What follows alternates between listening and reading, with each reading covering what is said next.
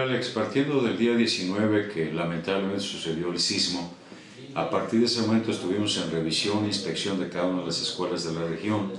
Comentarle, comentarte que tenemos 725 escuelas con edificio propio y tenemos 844 servicios de educación, algunos que trabajan en el propio edificio turno matutino. Y comentarte que después de esa revisión y la, la intervención de protección civil, eh, municipal de cada uno de los seis municipios que comprenden la región sur, eh, se han tenido reportes a lo largo del tiempo de las escuelas afectadas, unas más afectadas que otras en foco rojo, otras en, en amarillo menos dañadas. Pero bueno, en todo este proceso he de comentarte, Alex, que estamos anteponiendo ante todo salvaguardar la seguridad y la integridad física de los integrantes de la comunidad escolar, principalmente de los alumnos, que es la, la instrucción directa del señor gobernador, licenciado Alfredo El Mazo, Maza, y de nuestro secretario de Educación, del maestro Juan Yapet Millán Márquez. Primero, la seguridad, la integridad física de los niños, y en ese sentido he de comentarte que hemos ido avanzando.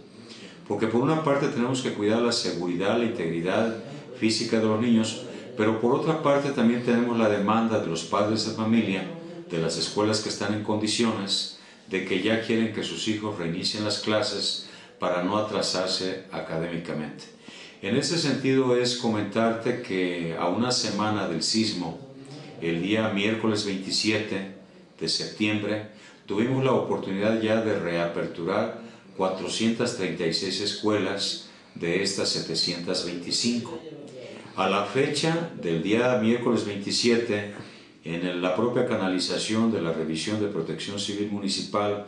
y visitas de IMIFE, ahorita tenemos ya aperturadas en total, reaperturadas con el día de hoy, 557 escuelas de las 725 y esto con la finalidad precisamente de que ya las escuelas que están en condiciones, ya por los compañeros maestros, hayan podido ya al día de hoy reiniciar las labores educativas.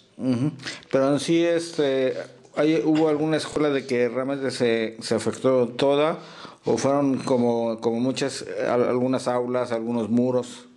¿Qué tipo de afectaciones se dio aquí en la región? Sí, tenemos, tenemos de la, desde la primera revisión que hicimos, eh, siempre hemos manejado el dato que fueron dos escuelas en foco rojo de diferentes puntos de la región. En foco rojo, ¿qué quiere decir? Que IMIFE, Protección Civil, consideraron pertinente que en esas escuelas no se tiene la mínima seguridad para laborar. En ese sentido, en estas escuelas, las de foco rojo, hemos llegado a acuerdos con los padres de familia, con las autoridades auxiliares municipales y hemos buscado lugares alternos. Lugares alternos como lo es, puede ser una misma escuela de la propia comunidad de otro nivel que no resultó afectada, la propia delegación municipal, en algún caso el centro de salud, en algún caso alguna escuela, alguna casa particular que hemos tenido la disposición de los padres de familia, de las autoridades de llegar a estos acuerdos, para que mientras, mientras el IMIFE, el gobierno del Estado, determina si alguna escuela tenga que ser rehabilitada, remodelada o, demolida en su caso, mientras esto, este servicio se esté dando en lugares alternos a la propia, a la propia institución. Tenemos en ese sentido también una cantidad de escuelas que tuvieron afectaciones mínimas, que ya ahorita con la presencia de, de IMIFE, el dictamen de protección civil, se ha considerado pertinente reactivar las clases. He de comentarles que nosotros no tomamos una decisión nada más unilateral.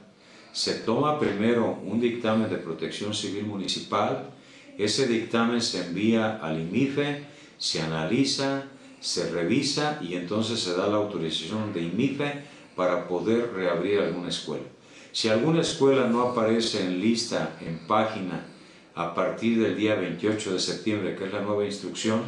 no se reapertura hasta que esté incluida en esta página correspondiente para tener la seguridad para los alumnos. Es importante aquí comentarles a los padres de familia que aún en las circunstancias de que se tenga que reaperturar una escuela, si en determinado momento vemos que en una escuela hay alguna, alguna dificultad, que se encuentre algún daño extra en alguna escuela, preferimos mejor no reactivar las clases hasta que tengamos la seguridad de que los alumnos estén bien en dicha institución. ¿De qué manera los padres de familia pueden seguir este, vigilando cuáles son las escuelas aptas para, este, para laborar y cuáles no? ¿Cuál es, digamos, la página este, para poder verificar esta información? Es una página del IMIFE, de, de SEDUC IMIFE, del gobierno del estado, donde ellos pueden meterse a la página y ahí checar las escuelas que están en lista. Haciendo la observación que, bueno, primero hubo una reapertura el miércoles 27, todas estas 436 en lista de reaperturas, ellas siguen, esas escuelas siguen trabajando normalmente con la presencia de todos los maestros. Las escuelas que no, no han sido todavía enlistadas, únicamente se está presentando el director de la escuela para estar al pendiente de la institución o de la presencia de algún, de algún personal de IMIF o de protección civil, estar al pendiente en el momento que podamos reiniciar las clases. Considero eh, que en la región sur, Tejupilco, al día de hoy, tener ya 557 escuelas de las 725, hemos dado un paso importante ya en la normalidad del trabajo educativo en la región sur del Estado de México. ¿Algo más quisiera contar, profesor? Eh, quisiera comentar, bueno, expresarle como siempre mi atento y afectuoso saludo a todos los que integramos la comunidad escolar, a los alumnos, a mis compañeros maestros, a los padres de familia, e invitarlos a que tenemos que seguir eh, siendo un equipo solidario, comunicado y respaldándonos en los acuerdos que se tengan que tomar. A mis compañeros maestros, docentes, directivos, supervisores escolares, coordinadores de área, pedirles amablemente que se involucren en el chequeo de las escuelas, que asistan a las reuniones que haya con padres de familia para poder tomar los acuerdos más, más eh, adecuados para que en las escuelas se marche debidamente con la actividad escolar. A los padres de familia pues les pido su solidaridad, su comprensión, que también nos ayuden. Hemos, he de reconocerles a los padres de familia que en algún caso donde obviamente por tener pocos peritos el IMIFE a nivel Estado y los pocos peritos que nos han mandado la región sur del Estado, que pedirles a los padres de familia nos solidaricemos. Hay padres de familia que son arquitectos, que son ingenieros, que tienen consorcios propios de, del tema, pedirles que nos ayuden precisamente, porque sabemos que no hay recursos económicos con los padres de familia, pero cuando tenemos el respaldo de algún padre de familia profesional en la rama, pues eh, lo hemos tenido, pero le seguimos pidiendo que nos sigan ayudando y que aquí eh, estemos conscientes, o sea, si una escuela está en buenas condiciones, que tengamos fe en Dios, que esa escuela está en buenas condiciones y que podamos reanudar las clases normalmente porque sus hijos también se atrasarían académicamente. Es la invitación que le haría a toda la comunidad escolar a los presidentes municipales, quienes les reconozco y les agradezco a los seis presidentes municipales que nos, han estado apoyando con el equipo de protección civil, eh, equipo de obras públicas, les pido que nos sigan apoyando. Todavía tenemos algunos pendientes, algunas escuelas pendientes de dictámenes de protección civil que nos hacen falta precisamente para que el objetivo sea que a corto plazo estemos trabajando al 100% con los 40.000 alumnos que tenemos a nuestra responsabilidad. Claro, haciendo la observación